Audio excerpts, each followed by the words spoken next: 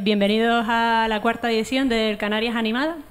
Para aquellos que no lo sepan y les llegue esto de primeras, el Canarias Animada es un festival eh, barra evento, barra llámalo como quieras, que empezó en 2013. No hay jurado, no hay premio. Esto es simplemente la obra de gente que vive en Canarias o produce animación, etcétera, en Canarias. Sin más dilación, presento a las víctimas de esta cuarta edición. Aquí tenemos a Brendan McCaffrey, que Thank you. Doesn't work. Es un artista digital de primer nivel internacional que es irlandés, pero lleva aquí viviendo un montón de años. Eh, pues lo podrán conocer como por portadas de videojuegos eh, como eh, MotoGP, eh. Battlefield, eh, tu- Star Wars, Bat- Batter- Battlefront, Battlefront, ¿qué dice Battlefield?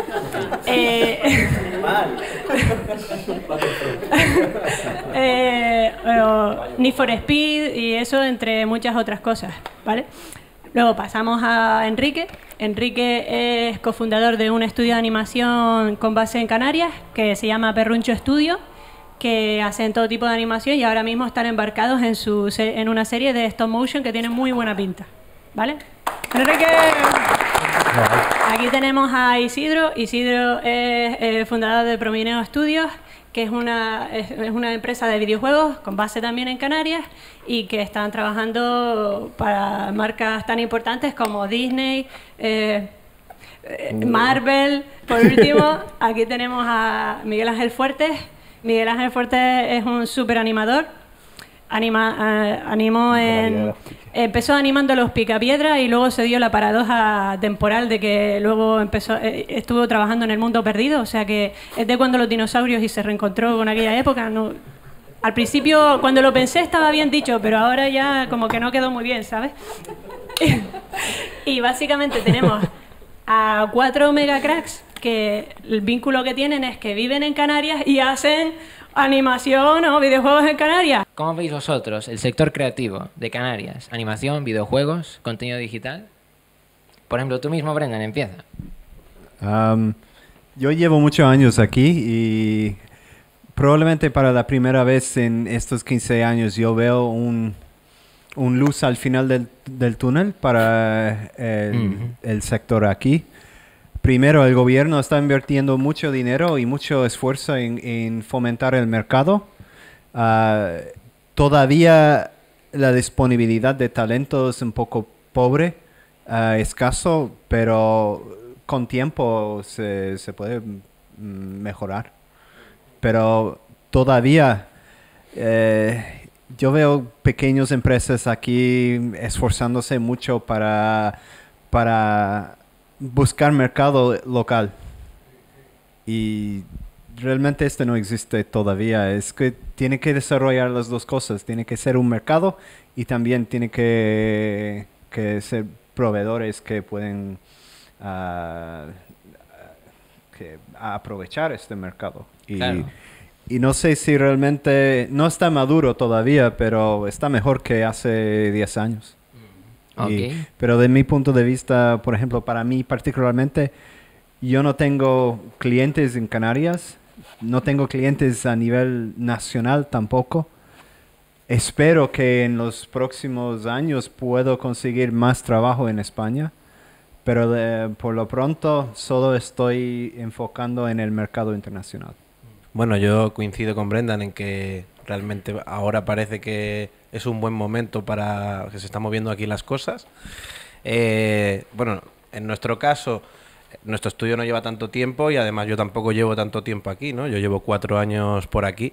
Sí que veo que cuando yo me vine, eh, yo, yo soy de Castilla y León y yo allí sí que no veía ninguna posibilidad. Ya desde el principio aquí vi que la cosa se movía un poquito más. Sí que es verdad que, mm, digamos, grandes proyectos para una empresa que empieza y tal, pues no, no te llegan. Empiezas, en nuestro caso ha sido más, empezar por el mercado local haciendo muchas otras cosas que están cerca de la animación, pero que no son la animación en sí. Es decir, si te pones muy purista, oye, a lo mejor hay gente que lo consigue, ¿no? Y desde el principio dice, este es mi objetivo y a por ello voy.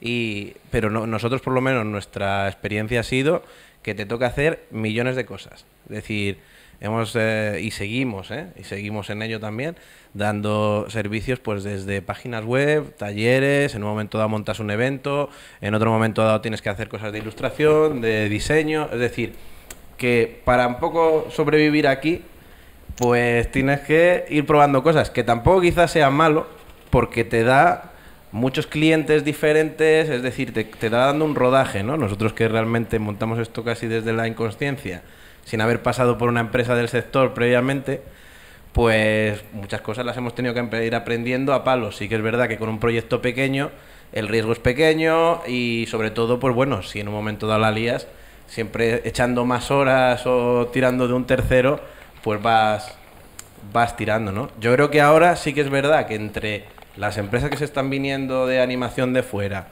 eh, que hay una apuesta institucional por ello y quizá también, pues eso, que que se va juntando también gente que ha estado aquí, los que nos hemos venido hace no tanto y otros que ya estaban y que también tiran un poco del carro, pues eso, también yo veo una luz al final del túnel, ¿no? De que se puede. La idea es no quedarnos aquí, sino intentar eso, que tampoco muchas veces tus presupuestos o lo que tienes ahorrado ahí en la caja te da para mucho, pero intentar salir de vez en cuando lo más posible, pues para que también los de fuera sepan que existes por ejemplo, en tu caso, eh, ya es diferente. Tú estás en un sector que internacionalmente está especialmente en auge, que son los videojuegos, Isidro, Isidro de Pramineo.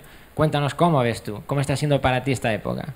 ¿Cómo veo el sector en Canarias? Es una pregunta que ya después de tanto tiempo me di cuenta hace unos cuatro años que tenía que salir de, ese, de, ese, de esa pregunta de en Canarias, cuando vivimos en un mundo globalizado y lo dice Brendan, y lo, bueno, lo, están, lo van a decir todos aquí. Al final, Promineo creció cuando dejó de decir Canarias, sino decir, vivimos en un mundo globalizado y al final eh, el mercado es global.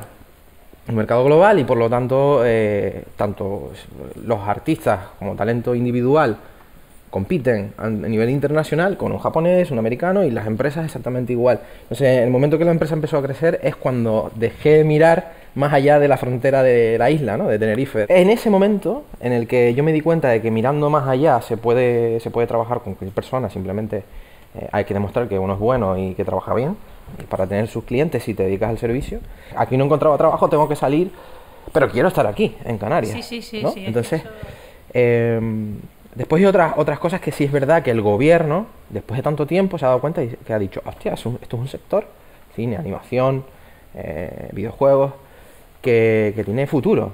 En Canarias en general se, está haciendo un esfuerzo, eh, desde cursos especializados, eventos, la TLP, etcétera, etcétera. ¿no? Eh, un montón de esfuerzos y el talento está. ¿Cómo veo el sector? Eh, se está pues, llegando a la planicie, quiero decir, a, llegar a competir con los demás. Simplemente es ponerte a su nivel. Es decir, ¿por qué yo no, ellos sí, yo no? Porque un americano, un estudio en, yo qué sé, en Los Ángeles no puede compartir con un estudio en, Las Palmas o en Fuerteventura.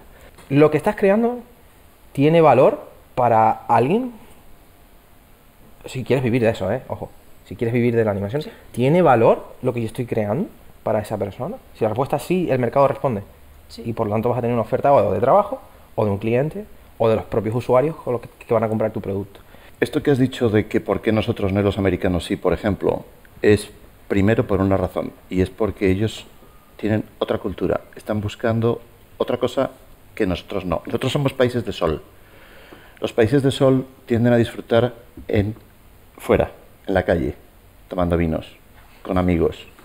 No son cultura profesional de estar produciendo, trabajando dentro de algo, produciendo, haciendo productos.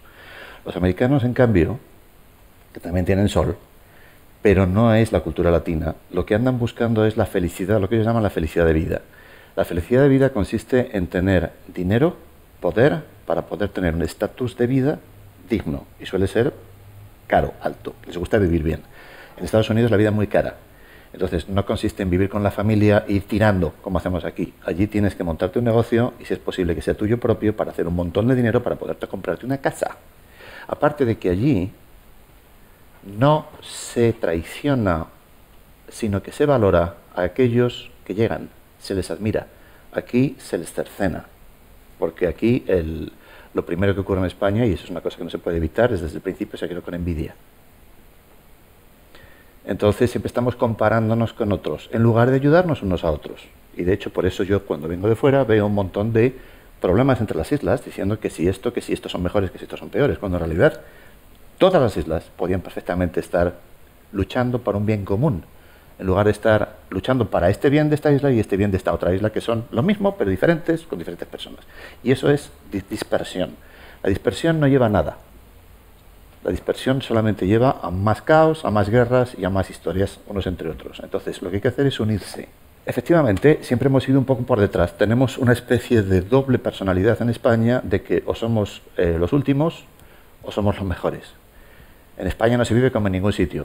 Yo te aseguro que se vive en muchos sitios muy bien, porque he estado en muchos sitios que se vive de miedo. En España también. Pero España no es mejor ni peor que otros lugares. Entonces, el hecho de creer que España es mejor significa que hay muchos que piensan que España es peor. Y ambos puntos son falsos. Ninguno es verdad. En España se puede conseguir tanto o más que en cualquier otro país, efectivamente, siempre y cuando no tengamos mentalidad latina de vivir en la calle, que está bien que disfrutemos fuera, pero hay que hacer cosas también. Entonces España es un país de hablar mucho y de hacer poco. Y claro, ¿cómo podemos llegar a hacer algo con esa perspectiva? No es profesional. Y profesional no significa que hay que ser duro o haya que ser serio o haya que ser aburrido. Consiste en marcarse unos objetivos con unas metas por un bien común para conseguir algo. Entonces, si me hablas un poco de Canarias, estoy viendo que hay una voluntad real de intentar que eso desaparezca y de llegar a conseguir, si no un producto, al menos que la gente se fije en las islas para poder traer producciones o sacar producciones de aquí.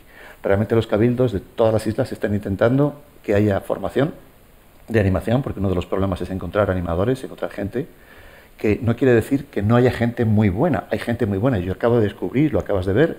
Entonces, venir aquí y descubrir que hay ayudas al cine, por ejemplo. Ese es el, el, meollo del asunto y por qué hacemos esto.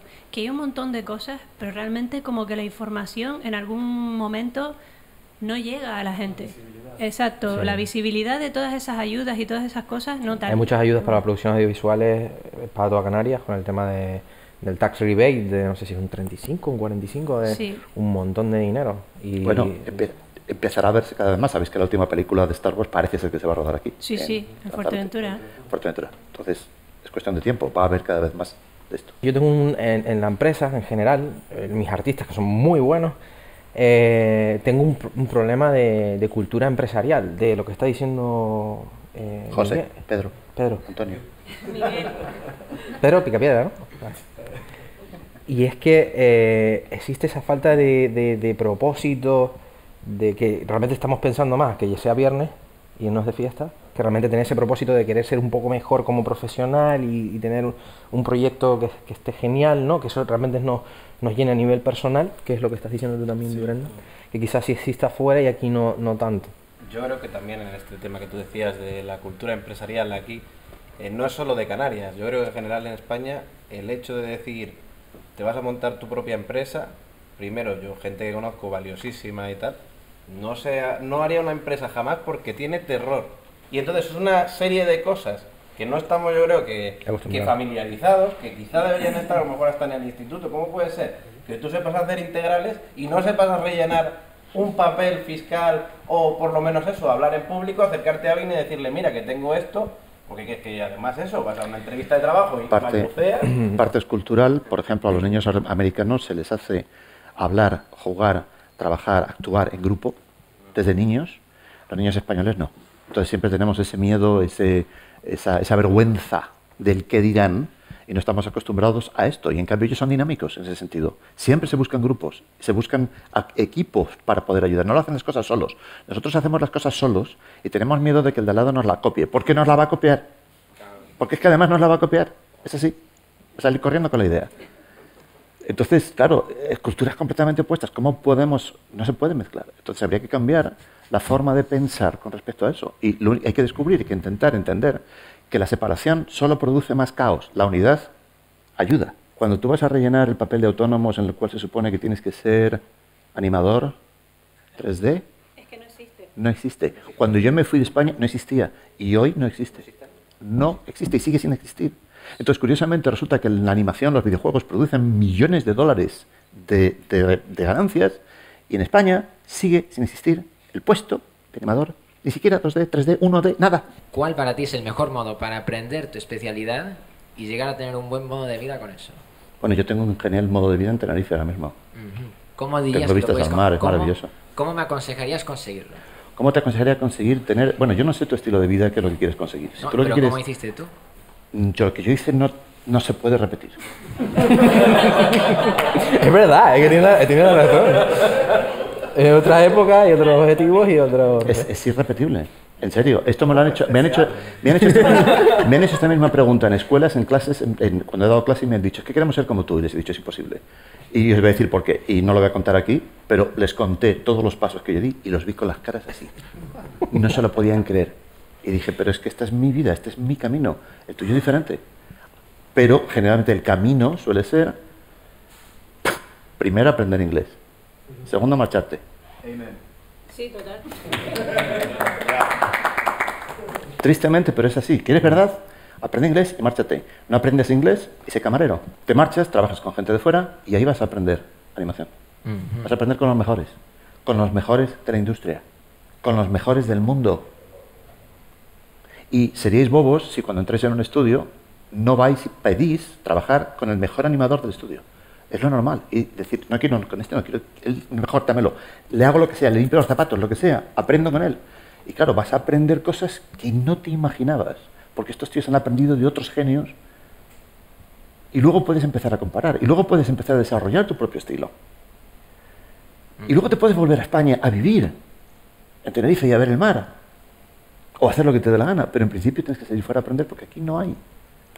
Y ya no es que no haya, no es que no se enseñe el 3D, o sea, se puede enseñar Maya, se puede enseñar... Hay, hay, hay por ejemplo, hay una, hay una especie de obsesión por enseñar a la gente a manejar la herramienta. Y eso es una cosa que yo me llevo negando a hacer desde el principio. Porque mm, un manual de Maya te viene con el programa. Te coges y te lees el manual y haces los tutoriales y ya está. Lo que no se enseña es a ser creativo, no se enseña a cómo mm, trabajar en grupo profesionalmente, no se enseñan otras cosas que son muy importantes, aparte de cómo manejar la herramienta. Es simplemente cómo cambiar tuercas. Bien, o sea, estamos creando mecánicos, no estamos creando artistas, no estamos creando directores, no estamos creando productores. Y esos son los que realmente crean una industria. Entonces, que haya muchos animadores que saben cómo hacer malla, no crean industria. Que haya mucha gente haciendo peliculitas de cortos, no crea industria. En mi caso, pues, desde que vi Toy Story, para mí fue una sesión animar, ser animador. Y desde pequeño tenía una obsesión por saber cómo funcionan las, co- las cosas. Un avión, cómo funciona, cómo vuela, o sea, esa curiosidad, Curiosidad. innata, esa curiosidad de quiero saber, y eso me acabó haciendo... Me gustó mucho la animación, pero a la vez quería saber cómo funcionaban las cosas. Montarla y tal, y, y naturalmente tiré hacia el rigging. Entonces lo que hice eh, pues fue estudiarme una carrera que me enseñaron la herramienta, desgraciadamente, y yo en mi, en mi tiempo libre fueron horas y horas y horas y horas y horas de copiar a riggers, ver cómo lo hacían uno, el otro, que si Maya, que si Max, que si no sé qué, que si este pie, que si este sistema IK, que si no sé qué, hasta que ya no podía exprimir más, que fue cuando empecé a trabajar en, en, en Ilion, que empecé a trabajar con gente que ya hacía tools, ¿sabes? Empezamos a programar, eh, y me acuerdo, eh, que fue que eh, horas y horas y horas y horas y horas de vuelo, ¿no? Y, y ese fue, y sobre todo porque me apasionaba. Si no te apasiona, imposible echarle horas de vuelo. Porque quería hacer mis propios proyectos, ¿no? El siguiente paso, y yo estaba sentado y me acuerdo que estaba en, en, planes sentado y digo, pero joder, ¿qué- qué- ¿qué estamos haciendo entre todos? Me gustaría también hacer mis propios proyectos. ¿Por qué no? Después me venido a Canarias, ¿no? Y después me fui dando contra, contra la pared. Hasta que elegí un sitio donde podía expresarme yo en mis propios proyectos, que era a través de un móvil, de una pantalla. Y digo, hostia, y aquí a través, y todavía hay más retos, ¿no? ¿Cómo puedo llegar a, transmitir al público algo que, quiero transmitirles, ¿no? Y, y así sí ha seguido ese, ese reto, ¿no? De seguir y seguir y seguir.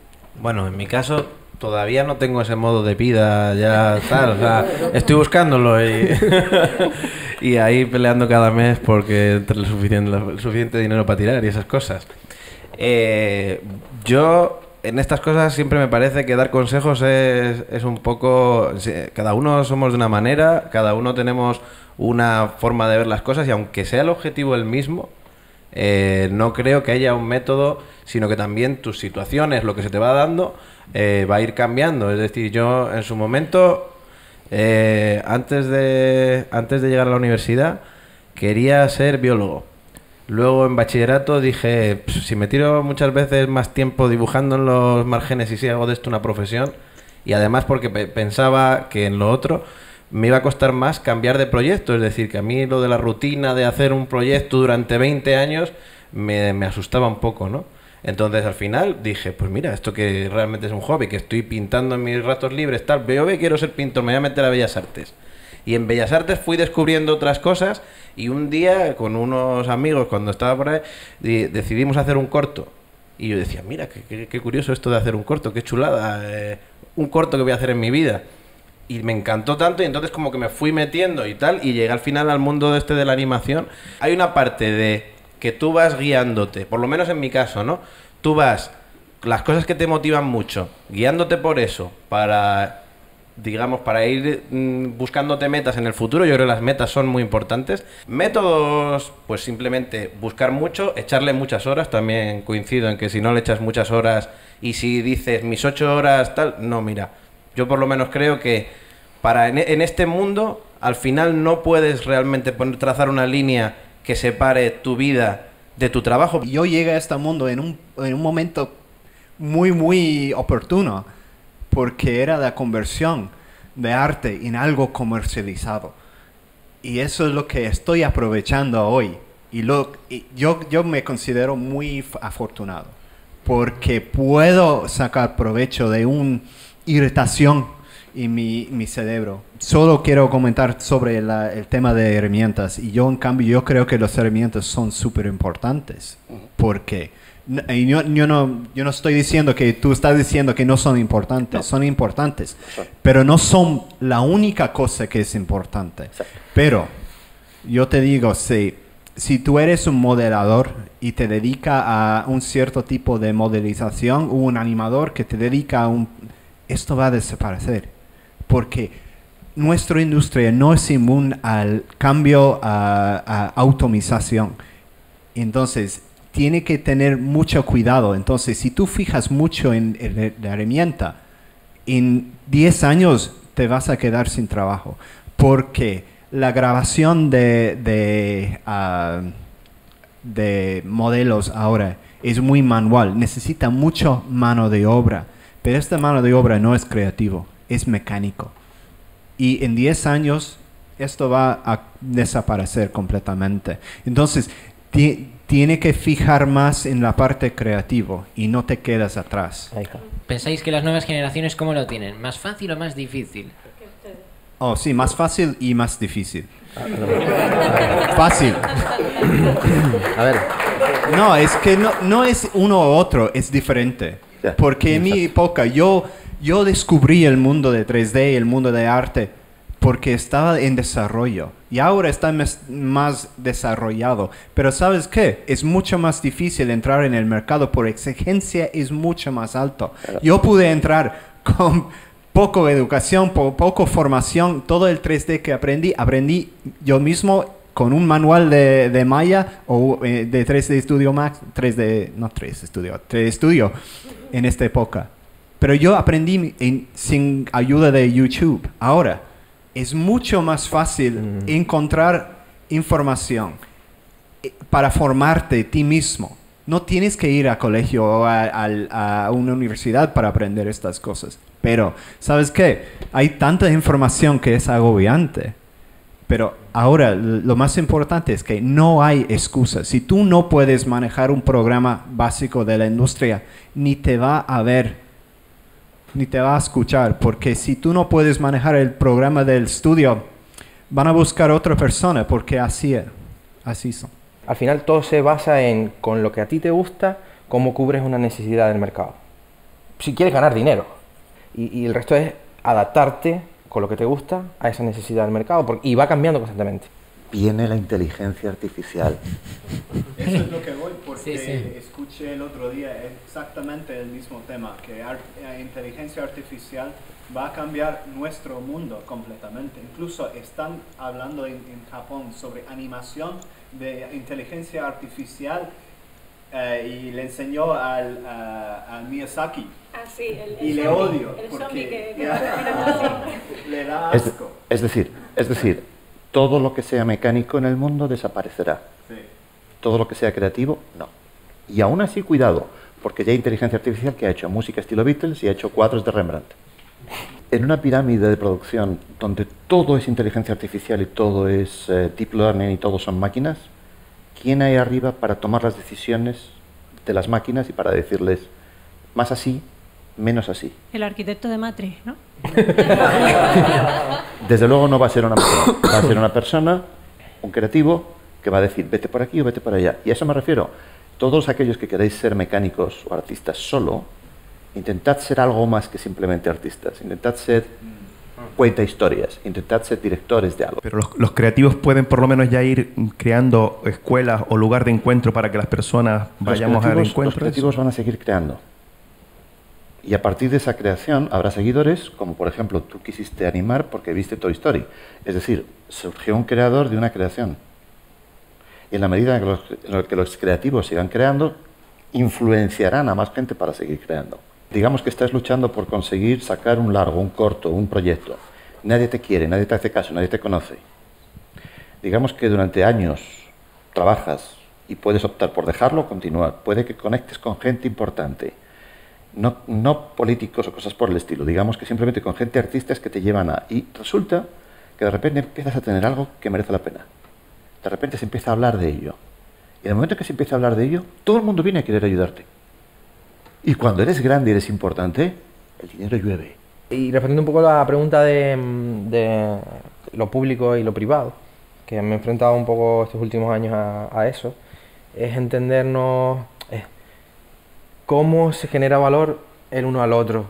El, ente público, las administraciones en este caso, van a entender que lo que tiene valor para ellos es o visibilidad, como políticos o como este estatus, ¿no? De que realmente una asociación con ellos va a hacer que suba su estatus o que el impacto de esa asociación va a tener algo en el, en el- eh, pues, donde organice, ¿no? En el sector canaria o el nacional, lo que sea. Va a tener un impacto real. Por ejemplo, generación de riqueza o empleo. Entonces, si se saben entender si se- y si se articulan y dice, bueno, yo te doy a ti, pero tú me das a mí, entonces crea esa, esa sana relación de, de- de, bueno, simbiosis. Esa simbiosis donde Unidad. unidad. Es complicado, ¿no? Porque sí es verdad que las instituciones, especialmente en España con las que yo he trabajado, tienen unos procesos de trabajo muy buro- burocratizados y tal, pero al final el lenguaje es humano, es decir, eh, a ver señores, yo tengo un proyecto y creo que puedo crecer y puedo generar empleo, y ellos te dicen ya, oye, ¿qué- ¿cómo puedo cubrir esa necesidad? Porque digo, es que no capto talento, tendría que traer talento de fuera. Digo, ah, pues nosotros montamos aquí un curso a nivel... Yo creo que esas relaciones son siempre humanas. que realmente a lo mejor no hay que pensar tanto en que es el gobierno el que crea las cosas, sino que digamos que es un facilitador, es decir, es algo que todos nos hemos puede, digamos, puesto de acuerdo, o ya venía de atrás, pero bueno, de alguna manera confiamos en que existe un Estado para que nos haga la vida más sencilla. Pero en el fondo yo creo que aquí también hay mucho de decir, oye, si a nivel privado, y no digo muchas veces solo a nivel empresa, sino que si un montón de gente en un momento dado piensa en montar una cosa y en colaborar y en no sé qué, bueno, desde una asociación a un grupo de trabajo, a, a irte a tomar unas cañas, la- todas las posibilidades que haya. Yo creo que el gobierno está haciendo su parte. Pero tiene que tener en cuenta que es un trabajo de una generación. No es de un día a otro ni el, día de mañana va a solucionar todo el problema. Porque el problema no es con la disponibilidad de talento o la educación. La educación está jodido, pero eso es otro tema. Pero ah, no, no hay una solución fácil, pero es que estamos en camino, que por lo menos yo veo un, un movimiento y es positivo. Entonces tenemos que esperar que, o no esperar, tenemos que trabajar todos juntos Sí. para conseguir algo, algo mejor. Para resumir un poco, es yo para mí que tienes que seguir tu pasión. Tienes que hacer lo que realmente te gusta hacer. Y como decía la película aquella de Construyelo y vendrán, Build it and they will come, Field of Dreams. Field of Dreams. Field of Dreams. Construyelo y vendrán. quien genera empleo son las personas. Ni siquiera las empresas, que las empresas son las personas. Quien genera empleo son ustedes. El gobierno... Apoya, apoya. o Y no? estamos... Hay una falsa idea que sigue repetida por ahí y es que no pasa nada. Si me pasa algo, el gobierno me cuida. No, No. el gobierno es mi padre. No, no. eh, eh, tenemos que ser autorresponsables de nuestro destino. No estamos protegidos por un Estado o por un gobierno. Pero hoy en día, por ejemplo, cuando eres modelador, mm, no sé cómo funciona porque obviamente no tengo experiencia, pero se suele valorar más el hecho con la herramienta que has trabajado tu trabajo final o el trabajo final en sí. Porque yo sé, por ejemplo, que hay personas que son capaces de hacerte el mismo resultado con diferentes herramientas. Bueno, eso depende, mm, bueno, no sé si... eh, eso depende de la producción, eh, o sea, el trabajo, donde quieras trabajar. Pues si quieres ir a Pixar y están animando con, con Maya, pues por- si no sabes Maya, pues va a, difícil- va a ser difícil que trabajes ahí. Pero lo importante, importante es que sepas, en este caso, el concepto, modelar. Porque te va a dar igual si lo haces en Maya que si lo haces en 3D Max, pues vas a tardar un mes. Bueno, que te lo diga Herbie. De, de hecho, te da igual. Todo eso son excusas exteriores, externas. Hay una cosa que tienes que tener que es lo más importante, que es pasión y curiosidad. Y amor por lo que quieras hacer. Lo demás viene dado. Yo he estado en estudios donde yo no sabía utilizar Maya y me han enseñado a usar Maya. Enfócate en, de- en un software que tú creas que es el adecuado y, y enfócate a dibujar si vas a dibujar. Y si es modelar, a modelar. Y el, el software, pues ya vendrá un poco, podrás fácilmente, si realmente lo que te gusta es eso, es- va a ser muy fácil cambiar de software. GIMP es gratis. Blender es gratis. Exacto, exacto. Yo, Se pueden hacer películas con Blender. Es una super herramienta. Nosotros trabajamos con Blender en Promineo. Primero se hace el boceto a papel. Yo que soy ingeniero informático y antes de programar, bueno, no sé si soy de la vieja escuela, cojo papel y boli. Y me puedo pegar una hora, hora y media, pero hasta que no salga en papel perfecto, no lo programo. Intuyo que en el ámbito ese tiene que ser exactamente igual. Porque perderías más horas intentando coger la herramienta moviendo aquí que primero tenerlo a papel, Obvio. escanearlo y como Obvio. lo que pienso sería Primero tienes que tenerlo aquí. exacto. Entonces, Tienes es que trabajarlo poco aquí. La Después en el papel es fácil. la contestación de que si sabes usar herramientas, que es también lo que decían ustedes, pero si no eres capaz de hacer algo que te distinga a los demás, las herramientas las saben usar tutorial 1, parte 1, YouTube. No sé, creo que sí, pero era también sí, se- se- primero se hacía papel. Sí, también los animadores lo hacían a papel o directamente pasaban a... Hay gente que lo hace directamente, no pasa por el papel. Hay gente que anima directamente. Conozco animadores que se tiran horas animando cosas diferentes hasta que encuentran la que, la que quieren. Para mí es una pérdida de tiempo, pero hay gente muy rápida haciendo eso. Sí, sí, y claro. pueden permitirse ese lujo. En cambio, hay gente que conozco que se iba al bar a emborracharse y se tiraban dos días, sin, tres días sin trabajar, durante una semana en el bar, pensando cómo hacer el plano. Y después llegaban el jueves y el viernes y lo acababan. Entonces es la creatividad del, del artista lo que mueve todo lo demás. Yo, yo sí, contestando a tu pregunta, me obsesioné mucho por aprender el 3D Studio Max y me sabía hasta, vamos, hasta el botón, Max Script me lo conocía arriba abajo. Y cuando más sabía, más, más me daba cuenta, eh, en cuanto a rigger, que más tenía que saber de biomecánica. Cosas más tradicionales, cosas más, más, ¿sabes? Más de dibujo, que no sabía mucho dibujar en ese entonces. Me iba, tenía que haber empezado al revés. Tenía que haber empezado casi con una carrera de bellas artes y luego ir evolucionando hacia la, hacia la herramienta, ¿no? Que más, aprender súper bien la herramienta para luego, ¿no? Sí. La parte artística. El tema es que de hecho en el estudio me han dado formación para un programa que yo no conocía.